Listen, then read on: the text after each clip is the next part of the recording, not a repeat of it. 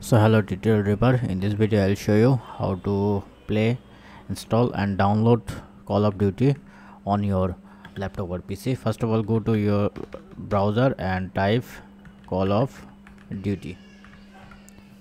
Then you can see the call of duty. This is the call of duty official website. And then you can see the game. Then go to cod origin and then you can see four different options. Playstation xbox battle.net steam. So playstation station is for station and these three for your laptop or pc uh, xbox by default already set up on your windows and battle.net and steam it's different.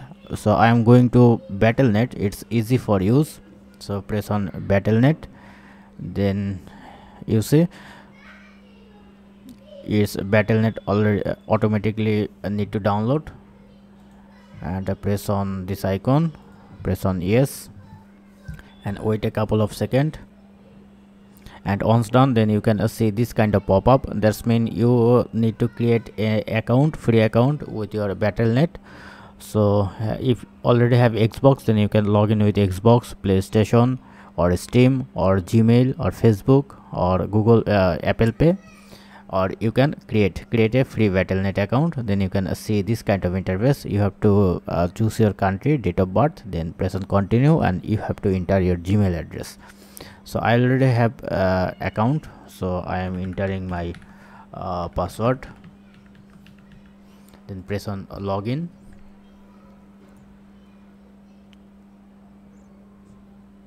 So once done then uh, you can add a phone number or i already add a phone number. Then enable auto update create desktop shortcut if you want. Then you can uh, see this is 93.40 gb required. So make sure you have uh, enough space on your uh, laptop or pc you can uh, change your uh, download path setup path and you can also change your language as well. So once done press on continue and press on start install.